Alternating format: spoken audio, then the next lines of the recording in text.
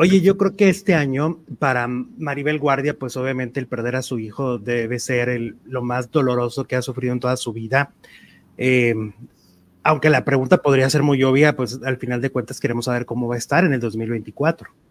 Oye, ¿sabes que dije que iban a morir dos muchachos jóvenes, uno de accidente y uno de tema de salud?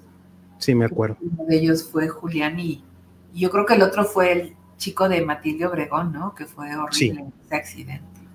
Porque la vi juntas en la entrevista, que se entrevistó. Y tenías en, sí, las unió eso. Wow. Entonces, Maribel Guardia, que es otro ejemplo de mujer. Wow. Sí.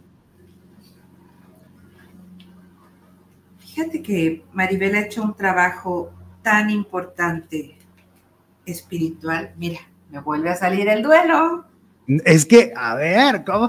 Es que esas son las cosas que obviamente pues nos dicen que el tarot de alguna manera sí se está conectando, como tú siempre lo has dicho, es una tendencia, no sentencia, y es una antenita, es una antenita de información, ¿no? Entonces, mira, me sale el duelo, me sale cómo se la pasó ella, mal, pero creo que ella, el trabajo es su salud, el trabajo es su salida y le viene mucho trabajo, le viene mucha economía. Y mira, yo la veo en un tema de reconciliación con lo que pasó. Y le viene muy bien a Maribel, muy bien. Ok.